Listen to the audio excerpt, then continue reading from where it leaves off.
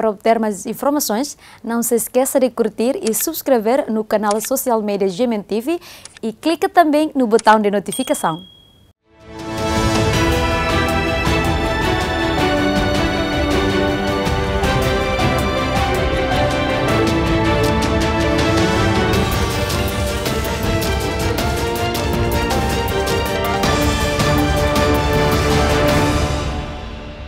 Olá, telespectadores, bem-vindos novamente ao programa CPLP na ZMN. Como já sabemos, este programa tem como objetivo apresentar-vos as últimas informações ocorridas na comunidade dos países de língua portuguesa. Iniciamos com a primeira informação. Em Moçambique, as vilas e aldeias devastadas por rebeldes nos distritos de Cuisanga e Macomia têm marcas de terror em cada esquina. O trauma e o medo pairam ainda entre as comunidades destruídas.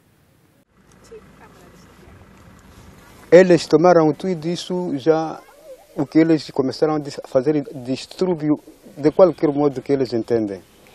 Destruíram todo o bem que estava aqui inclusive as casas e outras coisas, escolas, não sei o que, tudo o que eles necessitavam. A água, como aqui tínhamos uma canalização de água, e também destruíram, mataram umas pessoas, porque em, em redor de, desta aldeia aqui né, existe ossos de pessoas. Mas já sentem-se seguros para começar a vida aqui?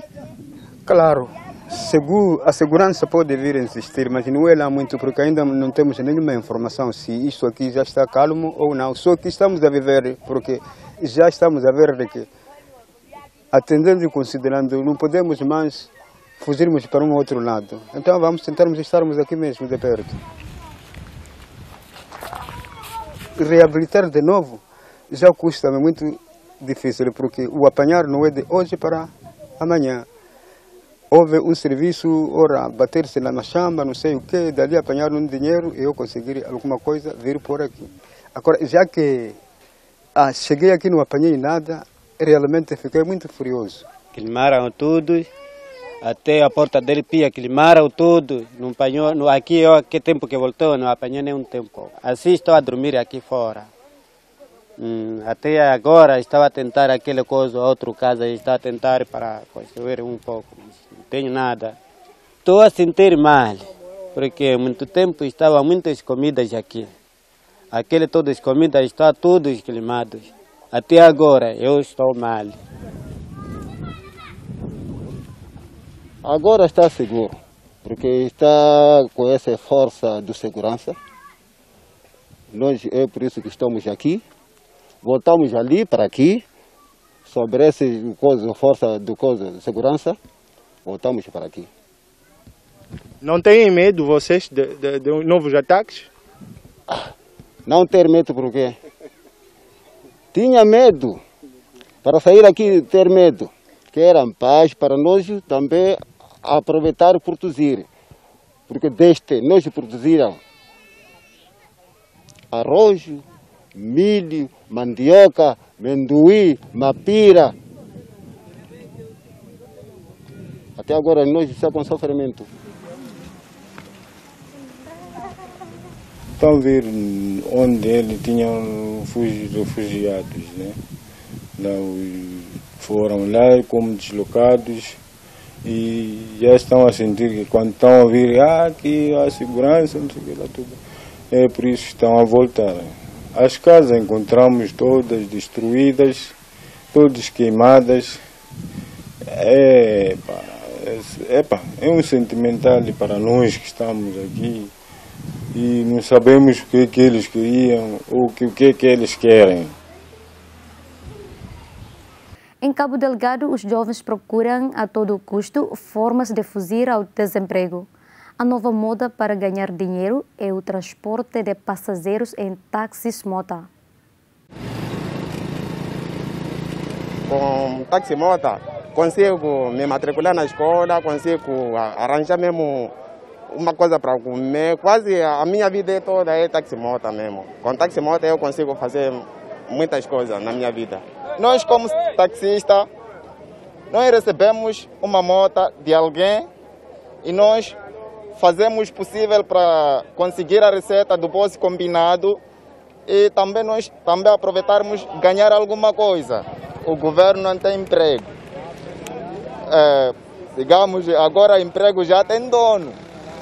Nós jovens, epa, ficamos sem oportunidade de trabalhar. Mesmo você fazer 12 segunda classe, o seu certificado fica em casa. Fui ver a minha vida né, financeira. Eu fiz a minha 12 segunda, terminei este ano.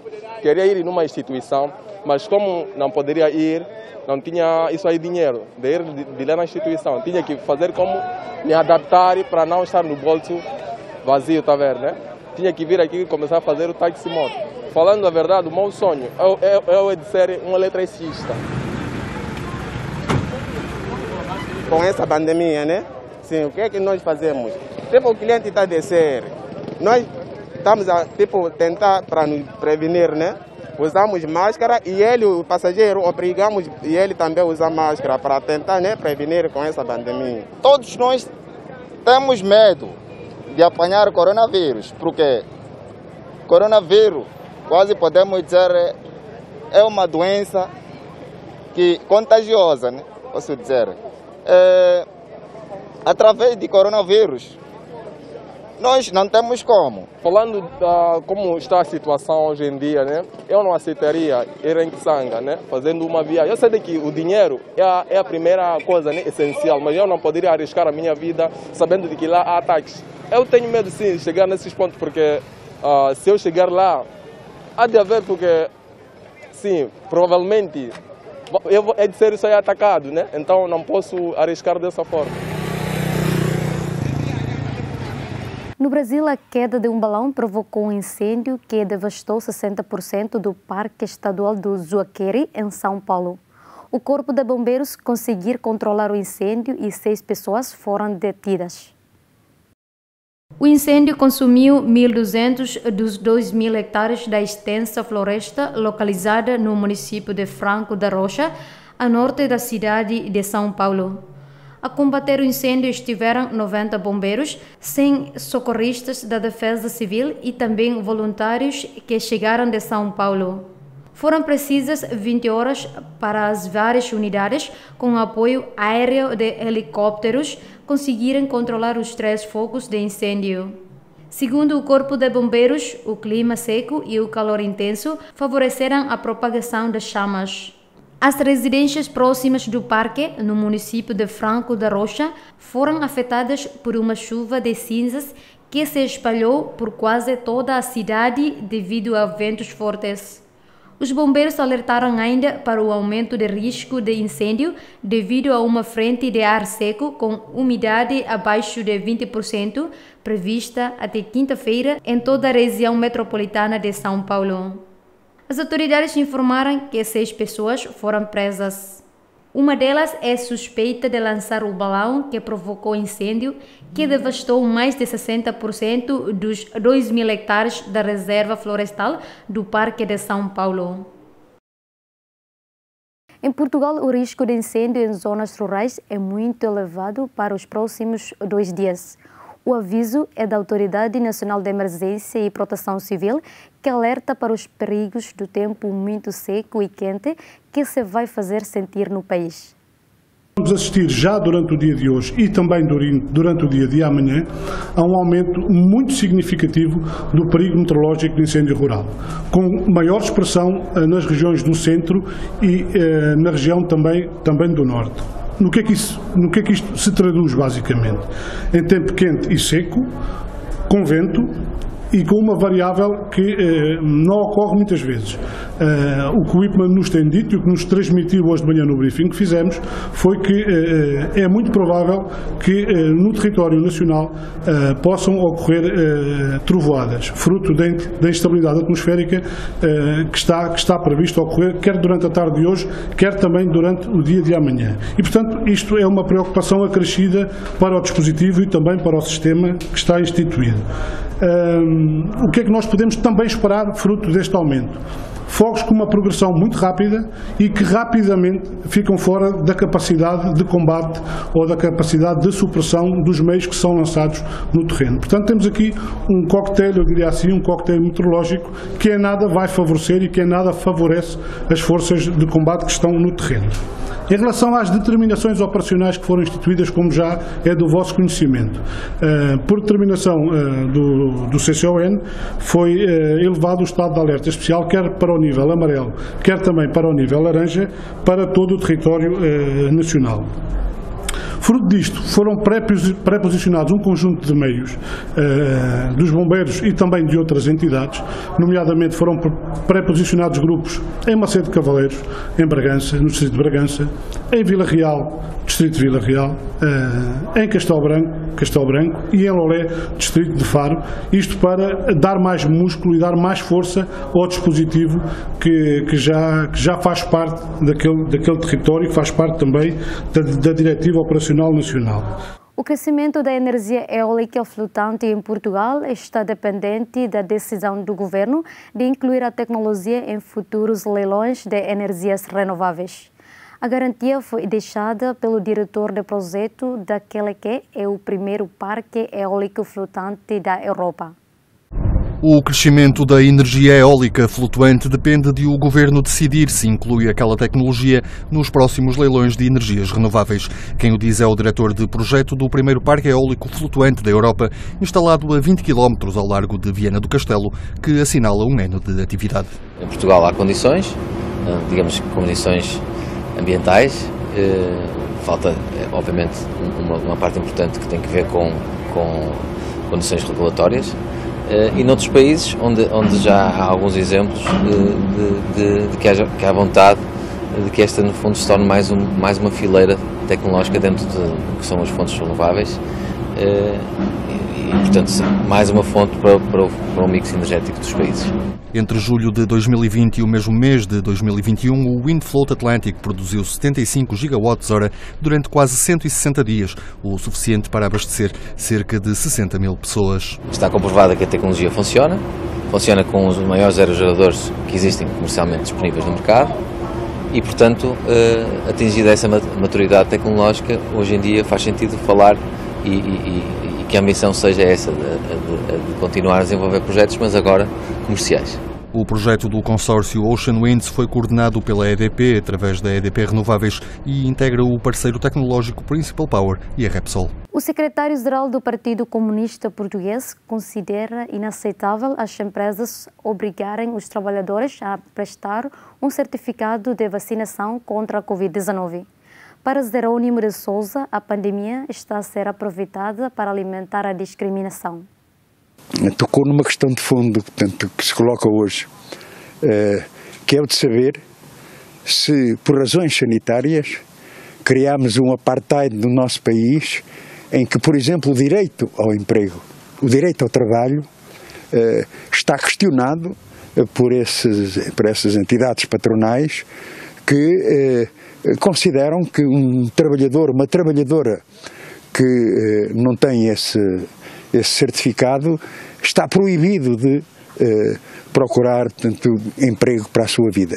Isto é inaceitável, não esquecendo nunca que eh, na Constituição Laboral o princípio do direito ao trabalho e do direito ao emprego são direitos invioláveis são direitos fundamentais portanto, que, uh, que as pessoas têm no nosso país. Por isso considero, portanto, de facto, um, uma, não é medida, portanto, porque não há medida, há que não esquecer isso, uh, mas é uh, uma proposta preocupante que demonstra que, afinal, portanto, esta questão da epidemia portanto, está a ser aproveitada por setores patronais, não digo todos, naturalmente, por setores patronais que procuram assim a discriminação, a desigualdade, particularmente em relação ao direito ao trabalho e ao emprego. Creio que eh, a Assembleia da República, dia 12 de setembro, portanto, vai ter de, de se pronunciar em relação à evolução da situação e às medidas que daí possam decorrer, eh, mas eh, eh, quero reafirmar com veemência eh, o caráter inaceitável dessa medida de quem não tem esse certificado não pode procurar emprego, não pode resolver os problemas da sua vida. Em Portugal, a Tapada Nacional de Mafra substituiu o tradicional comboio a combustível por quatro veículos elétricos. O objetivo é reduzir a pegada ecológica das visitas ao local, considerado Patrimônio Mundial da Unesco.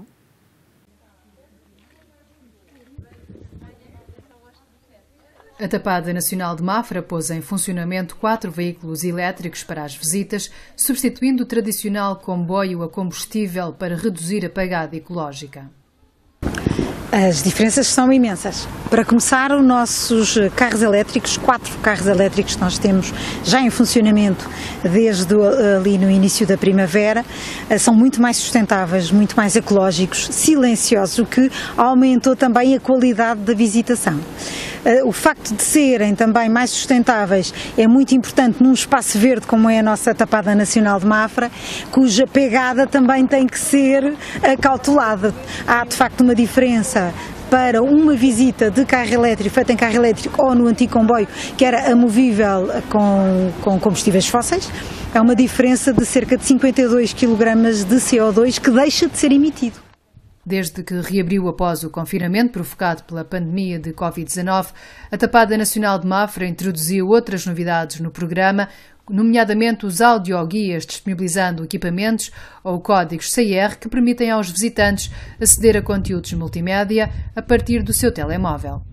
Pensámos foi criar aqui formas, ferramentas para as pessoas nos virem visitar e se sentirem seguros, não tendo que estar fechados e junto a pessoas que normalmente não vêem, não estão, eh, e portanto assim também evitar a propagação eh, do vírus. Com o audioguias, para começar, eh, o visitante sente-se muito mais acompanhado quando está a fazer um percurso pedestre, consegue-se geolocalizar através do Google Maps e com a aplicação, consegue-se geolocalizar e perceber se está no início, a meio ou no fim do troço, tem 15 temas para explorar também, ou seja, em vez de ir com um guia uma pessoa desconhecida, ter que estar à espera de juntar um grupo, vai com a sua família na sua bolha e vai aprender na mesma sobre a tapada.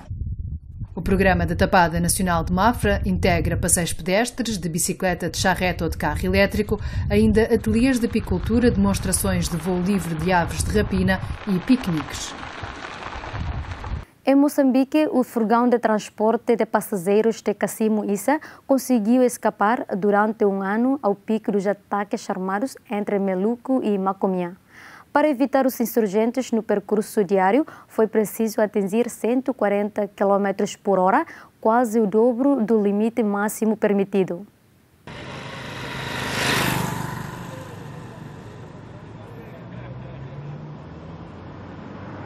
Desde que começamos a andar lá, desde atacaram, nós não abandonamos ali fazer chapa.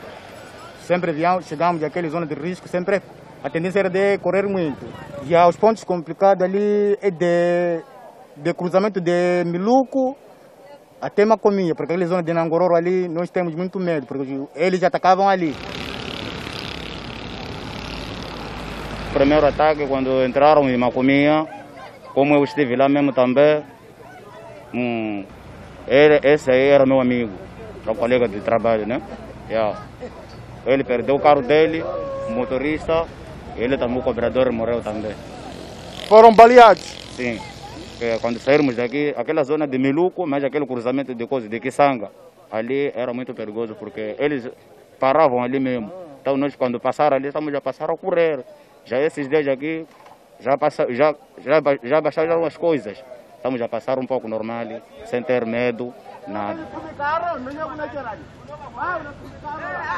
A gente sai bem aqui até Ponte Montepois. Aí há o nosso controle, que os, as forças aí que estão aí consultam como vai a viagem.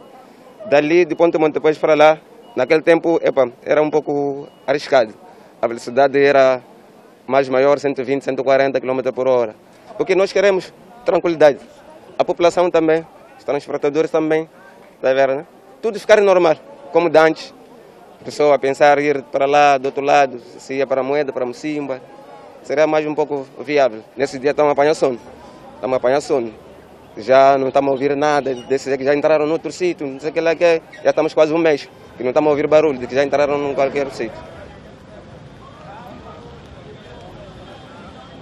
Sobreviveu às três guerras que Moçambique conheceu, mas nunca perdeu o sonho de recomeçar a vida num lugar onde existisse paz. Carpinteiro de profissão, Zosalito Wawiri, perdeu muito nas fugas aos conflitos, mas nunca abandonou as suas ferramentas.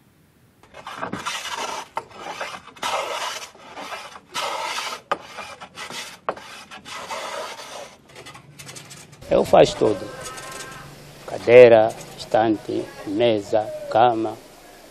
Hum. Qualquer coisa que o cliente vem aqui precisa isto aqui, se eu aguentar, eu faço. Primeira, a pensamento, eu pensei a minha ferramenta. Primeira, começou a minha ferramenta, pôs no lugar. Agora quando vir, quando vir o meu, o meu filho, então, primeiro a carregar é carregar as minhas ferramentas. E segundo duas camas com, com os chãos. Mais nada. A pessoa de Palma, de onde vinha aí na minha casa, comprar as coisas. Hum, esteleira, estante, armário, etc. Agora, aqui, as coisas muito caras. Lá a madeira era muito barato. Eu fiz uma cadeira,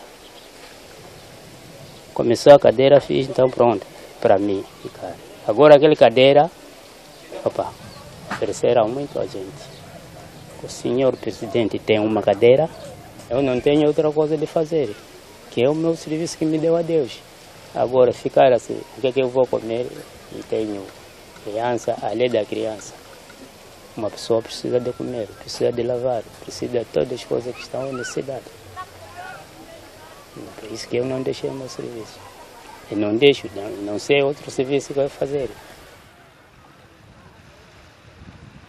Desde que os talibãs retomaram o poder no Afeganistão, An não dorme e tem problemas de estresse.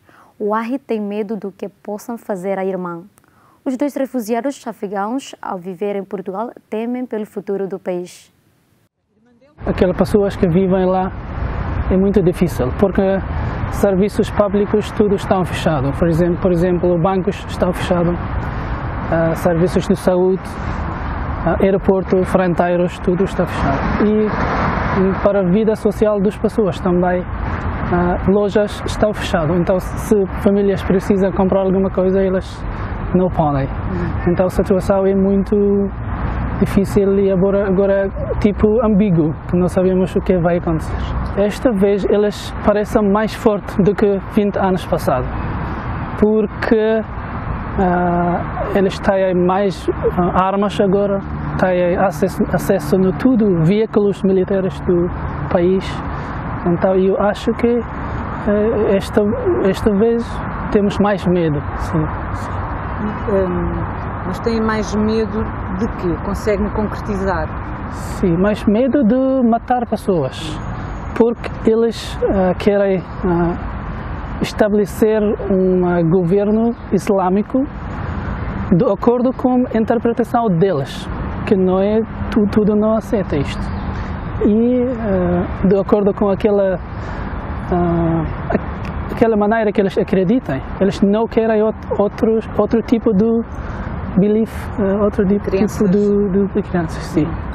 Então, aquelas minorias que vivem estão em risco.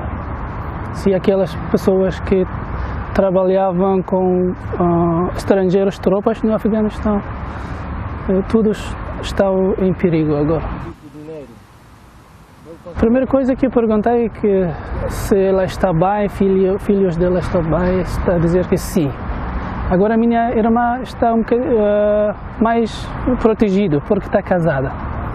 Mas outros uh, raparigas é muito difícil porque os, os talibãs uh, obrigam eles para casar-se. Está a contar que uh, a situação está a ficar pior.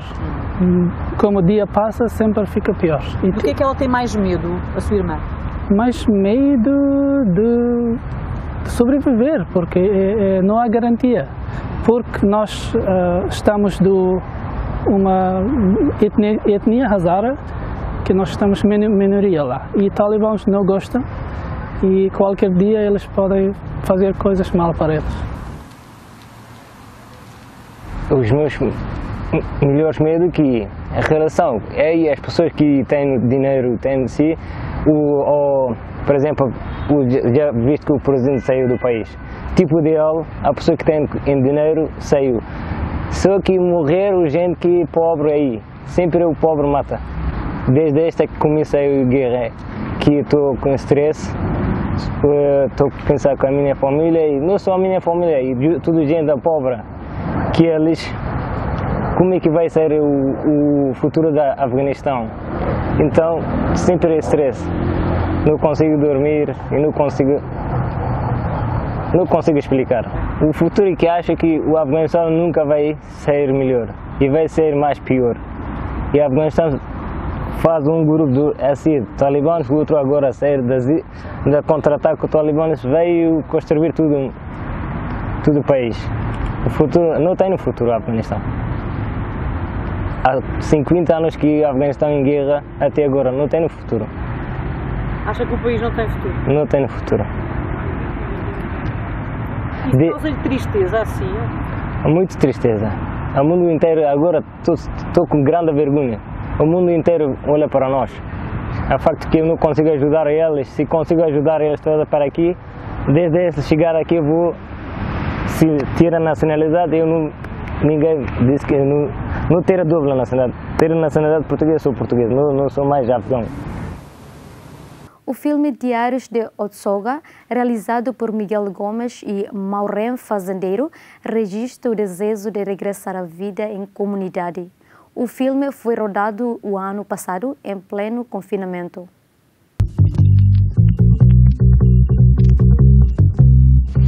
A verdade é que nós, eh, quando saímos de casa depois do primeiro confinamento, fomos à casa da Cristal Faiata, atriz, e comentamos exatamente a falta de trabalho para a maior parte dos artistas.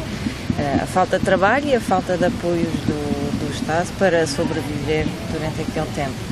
E achamos que a única maneira possível de remediar a isso era, era fazermos o filme. Depois tivemos eh, obviamente, a sorte de ter produtores prontos para financiar um filme sem passar pelos canais tradicionais, sem escrever argumentos, sem tempo para isso. Uh, nós, em maio, dissemos aos produtores que queremos fazer um filme e em agosto entramos numa casa com uma equipa para filmar. A questão do, do Covid e do confinamento, nós utilizamos as limitações que existiam por causa disso para tentar criar outra coisa que não é muito eu acho, não sei, se calhar outras pessoas podem ter outra ideia, mas na minha opinião não é uh, sobre o, o, a pandemia e sobre o, o, confinamento. Aliás, até tem características um bocado contrárias. Há quem já tenha dito, e eu uh, revejo-me, uh, posso concordar com, com isso, que o filme tem qualquer coisa de antídoto a este tempo. Eu acho que falo por todos, nós estamos muito disponíveis para como, como o processo foi lançado, mas hum, acho que há uma certa indefinição que também nos deixa um bocadinho uh, num sítio em que não conseguimos propor tanto. É um filme uh, sobre estar com outras pessoas, uh, ou seja, é depois da, da, do distanciamento social imposto e do isolamento, cada um em sua casa, nós tínhamos um desejo muito forte de voltar a estar com outras pessoas. E isso passou, inclusive, a ser, digamos, o próprio assunto do filme. Por uma velha questão que existe agora, com Covid ou sem Covid, que é como é que é esta coisa de vivermos juntos, de sermos uma comunidade. E, portanto, eu acho que esse desejo de filmar uma comunidade nasceu como reação ao isolamento que nos foi imposto do, do do, do confinamento.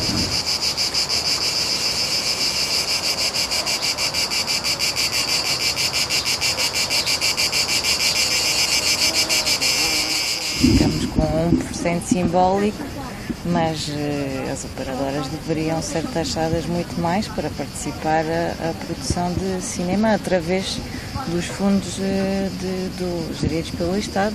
Acho que há muitos países que, que implementaram taxas muito, muito uh, superiores àquela que, que, que temos em, vamos ter em Portugal. Uh, esperamos que isso possa ser revisto próximos anos. Sabemos que temos um secretário de Estado que, eh, que é sobretudo um secretário de Estado do audiovisual, ele tem um vem desse setor, tem uma cultura que, que, tem a ver com esse setor e um entusiasmo uh, juvenil por esse pelo mundo novo das plataformas. Vamos ver o que é que se vai passar.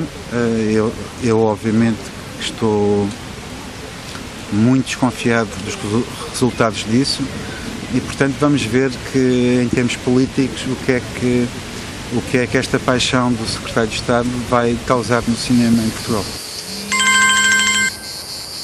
Tô, Moreno. Eu? Já saíste da consulta? Deixa falar rápido, que nós estamos aqui a filmar. Ei, o que é que estão a filmar? É, umas coisas. Foram as informações dadas nesta edição. Até a próxima.